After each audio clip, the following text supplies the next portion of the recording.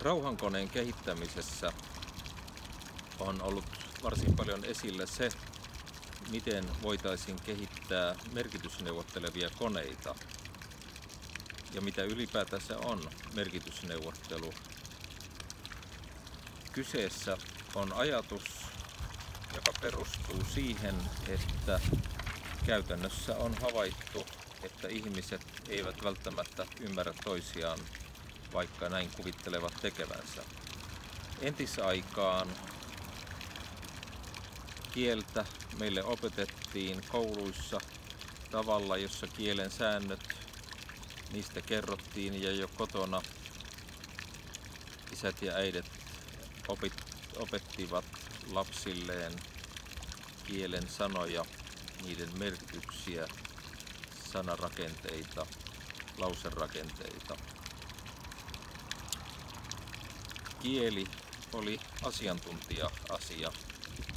Ja se tuli vanhemmilta, se tuli opettajilta, opettajille se tuli taas usein yliopistoopettajilta. Ja yliopistoopettajat taas perehtyivät suomen kielen tapauksessa suomen kielen salaisuuksiin mennen siinä aina vain syömmälle ja heistä tuli auktoriteetteja. He kertoivat, mitä sanat ovat ja mitä ne merkitsevät. Niitä vietiin sanakirjoihin, joissa oli kuvauksia siitä, mitä kunkin sanan merkitykset ovat. Ehkä ei nyt niin kovin paljon mietitty sitä, että mistä sanat alun perin olivat saaneet merkityksensä ja minkälaista vaihtelua niissä ehkä on. Ajateltiin pikemminkin, että sanoilla on jokin tai jotkin tietyt merkitykset, jotka ihmisten on syytä hallita pystyäkseen käyttämään suomen kieltä asianmukaisesti ja taitavasti. Tämä osoittautui ongelmalliseksi lähestymistavaksi kehitettäessä kieliteknologiaa, koska tällaisessa tietokonelingvistiikassa yritettiin sitten soveltaa näitä ihmisten sääntöjä ja laittaa kone käyttämään sääntöjä jäsentääkseen tai tulkitakseen lauseiden merkityksiä. Tämä onnistui vain osittain. Ajateltiin, ehkä, että ehkäpä kyseessä on tehottomuus, eli sääntöjen kerääminen pitää siirtää uuteen muotoon ja todettiin, että ehkäpä koneoppiminen on se keino. Eli otettiin suuria tekstitietokantoja ja katsottiin, missä asia- tai tekstiyhteydessä sanat esiintyvät. Ja jo varhain havaittiin, että jos kaksi sanaa esiintyy tilastollisesti katsoen samankaltaisissa lauseympäristöissä, lauseyhteyksissä, niin ne tyypillisesti tarkoittavat samantapaisia asioita ja usein myös kuuluvat samoihin sanaluokkiin, jos tarkastellaan lähellä toisiaan olevia sanoja. Tällä päästiin askel eteenpäin. Voidaan puhua tilastollisen koneoppimisen kääntämiseen tai tilastollisen koneoppimisen soveltamisesta kieliteknologiaan. Tämä ei kuitenkaan vielä vienyt asioita ihan, voisiko sanoa, maaliin saakka. Ja kyseessä on laadullisia asioita. Eli saatiin kyllä erilaisia sanapilviä, asioiden ja sanojen välisiä suhteita löydettiin automaattisesti näistä tekstiaineistosta sanojen välisten suhteiden läpikäynnistä tietokoneiden avulla, mutta lopputulos jäi kuitenkin vielä jotenkin vajavaiseksi. Ja voidaankin kysyä, että mihin tämä liittyy. Taustalla on monia asioita.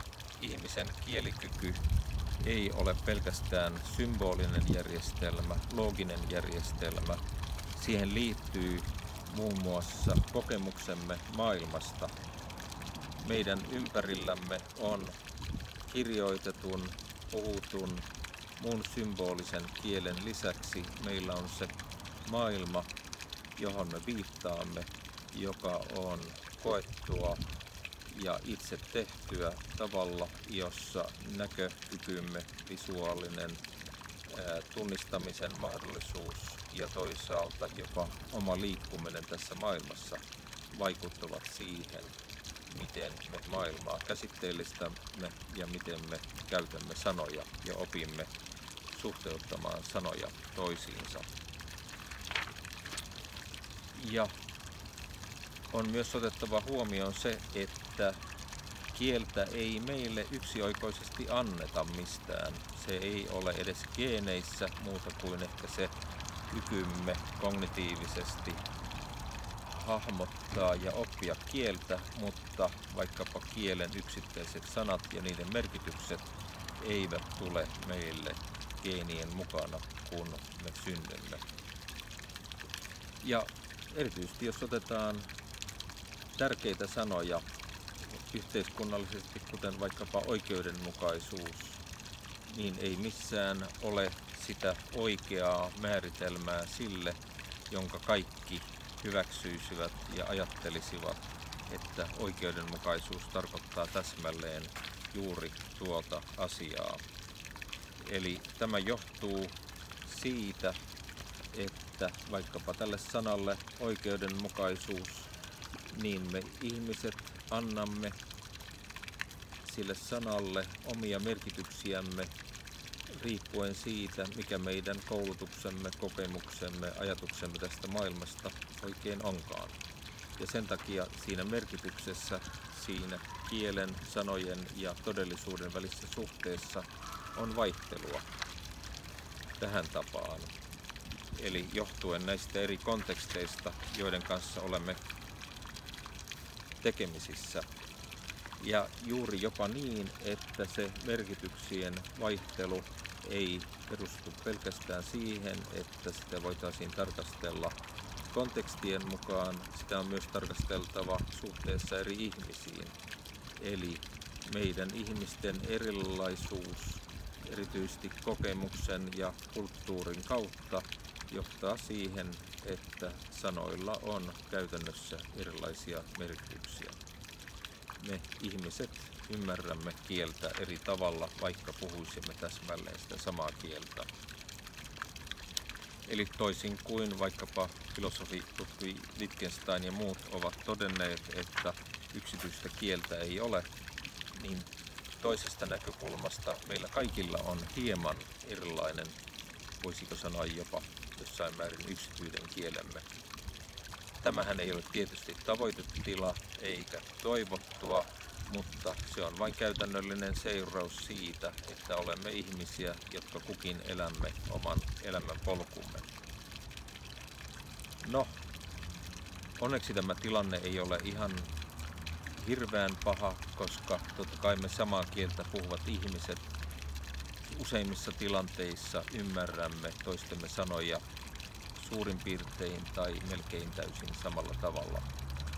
Silloin, jos me olemme eri sukupolvia ihan eri puolilta, vaikkapa maaseudulta versus kaupungista tai, tai muuten vaikkapa kouluttautuneita tai ammatiltamme hyvin eri aloilla, niin näiden sanastojen ja merkitysten laidoilla merkitykset voivatkin sitten olla kovinkin erilaisia. Tai sitten meidän täytyy vain myöntää, että me edes tiedä, mistä jossakin asiassa on kyse.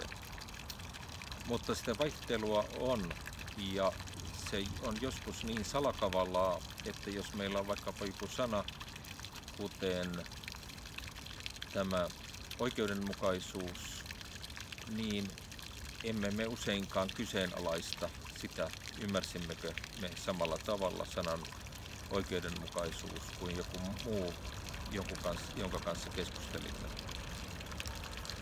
No, merkitysneuvotteluvat koneet voivat olla avuksi tässä.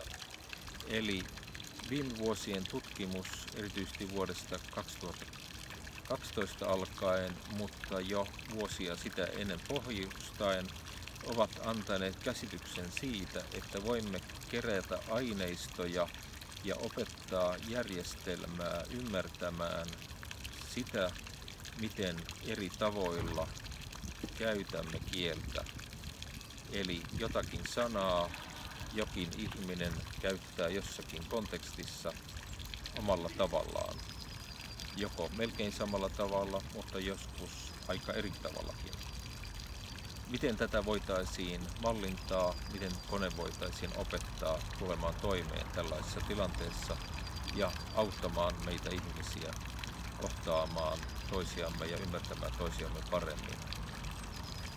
Matemaattisesti olen lähtenyt siitä, että kyseessä on niin sanottu tensori, eli tämmöinen iso laatikko, johon kirjataan numeroiden muodossa tietoa siitä, miten me ihmiset käytämme sanoja, ensinnäkin sanoja, toiseksemme joissakin niissä konteksteissa, missä me kieltä käytämme, ja kolmanneksi ottaen huomioon se, että olemme eri ihmisiä. Eli kukin meistä ihmisistä voidaan ottaa huomioon erikseen.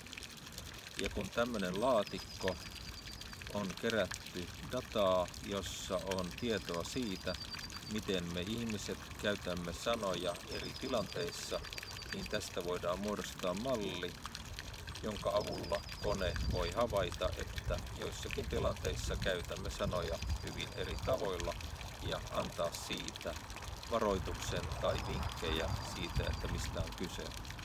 Eli Pekka ja Liisa keskustelevat ja kone toteaa Pekalle, että nyt kuule mitä sanoit, niin Liisa luultavasti ymmärtää tuon sanan oikeudenmukaisuus hyvin eri tavalla kuin mitä itse siitä ajattelet ja haluat tarkoittaa. Ja se, mikä tässä on mielenkiintoista, on tosiaan se, että se merkitys jo yksittäisellä sanalla voi olla tavallaan taustalla aivan kuin olisi kyse eri mielipiteestä. Eli sanatkaan eivät ole sellainen vakaa pohja, jolle voisimme jonkinlaisen logiikan tavoin rakentaa ovat omat merkityksemme, vaan ne lähtevät siitä, että loppujen lopuksi tämän kokemusperäisyyden kautta elämme kukin tavallaan kuin vähän omanlaisellamme suolla, jossa sitten se suo upottaa eri ihmisillä eri syvyyksille. Ja tämän ilmiön kanssa on sitten tultava toimeen. No, tämä vuonna 2012 julkaistu kirjoitus oli sellainen, jossa esiteltiin tämmöinen GIGA-niminen menetelmä, Grounded in the Subjective ja sitten Concept Analysis, eli juurrutettu ihmisten välinen käsitteiden analyysi oli tämä menetelmän olennainen sisältö. Ajatuksena tosiaan se, että voitaisiin pitää huolta ihmisten välisestä vuorovaikutuksesta ja keskinäisestä ymmärryksestä uudella tavalla, joka nostaa esille näitä merkitysvaihteluita ja joskus pieniäkin vivahteita, jotka kuitenkin saattavat johtaa suuriin riitoihin. Ja nämä julkaisut, tuo vuoden 1912 julkaisu sai jatkokseen joitakin muita. Ja tuossa todettiin, että 2016 julkaistussa artikkelissa tarkastelimme niinkin yksinkertaista asiaa kuin makuasioita, eli ruokia ja sitä, kuinka ihmisten ajatus ruoan kalleudesta riippuu siitä, mistä me pidämme ja mistä emme pidä. Ja ne sanat, jotka liittyvät tähän tematiikkaan, niin ne antavat pohjan, jolla voitiin hyvin konkreettisesti tarkastella ihmisten merkityksien ja merkityksen annon erilaisuutta ja moninaisuutta. Tämä työ on edelleen monella tavalla haastavaa, koska jotta voisimme saada koneen ymmärtämään todella hienovaraisesti meitä tässä mielessä, niin pitää kerätä valtavasti aineistoja, joka toisaalta asettaa haasteen, haasteen sitten muun muassa yksityisyyden suojalle. Miten pidämme huolen siitä, ettei näitä tietoja käytetä väärin. Mutta lähden siitä, että perustavoite, eli ihmisten välisen ymmärryksen ja myötätunnon pohjan rakentaminen tähänkin tapaan on niin tärkeää, että tätä on syytä tutkia ja kehittää edelleen hyvin voimallisesti. Ja mielenkiintoiseksi tämän asian tekee myös se, että merkitysneuvotteluihin ja merkityksiin liittyvät kysymykset ovat olleet ihmiskunnan kiinnostuksen kohteena jo tuhansia vuosia ja edelleen ovat sitä ja tulevat maailman kansainvälistymisen ja laajuuden kasvamisen takia yhä tärkeämmäksi myös konkreettisessa mielessä. Olen kuitenkin optimisti siinä, että näitä järjestelmiä, joita voidaan kehittää ja niitä tarkastelutapoja ja sitä filosofista, psykologista, kielitieteellistä ja muuta ymmärrystä, joka tähän liittyy ja jota tähän voidaan lisätä ja kehittää, niin sen avulla voidaan saada kannaltamme hyviä tuloksia. Kiitoksia.